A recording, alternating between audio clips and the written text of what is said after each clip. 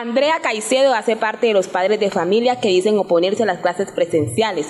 Le preocupa que sus hijos sean sometidos por los docentes para que asistan al colegio Antonio María Claret. No estamos de acuerdo que los niños que no asistan presencialmente a la institución se les vulnere el derecho a la educación porque no tienen derecho a las guías educativas, sino presencialmente. Entonces nosotros estamos aquí para que nos den una razón justa de por qué los niños de esta institución no tienen derecho a la educación virtual, sino presencial. No hay vacuna para los menores de 18 años todavía en nuestro departamento. Entonces, ¿cómo es posible que si una población tan vulnerable como son los niños no tienen vacuna, nosotros tengamos que traer a la fuerza, sí o sí, nuestros hijos a esta institución donde todavía ni siquiera los lavamanos están instalados?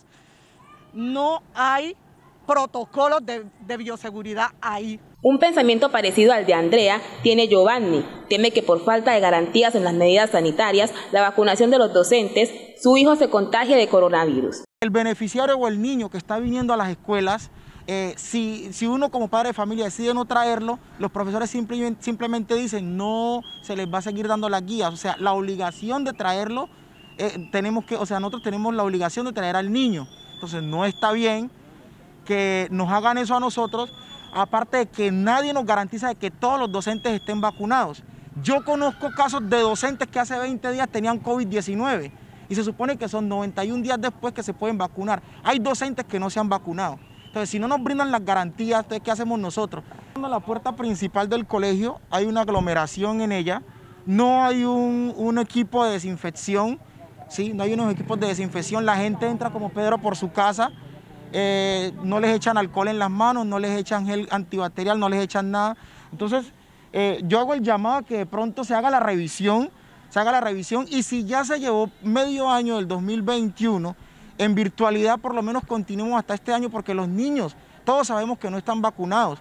Es la única población para la que no hubo vacunas. Realmente si no hay un lado de mano, no hay un distanciamiento social, eh, no está lo que, lo que emana el Ministerio de Salud, no se debería iniciar con, las clases. Todos queremos que sus niños estén en las aulas, sí, pero con las medidas pertinentes para, el debido cuidado, tanto en el ingreso como en la salida. Hoy miramos que no contamos, por ejemplo, aquí en el establecimiento que está mi, hija, eh, tienen solamente un, un lavamano. Y creo que un lavamano, solamente al ingreso para toda la cantidad de niños, no, no, no, no alcanza, no es suficiente.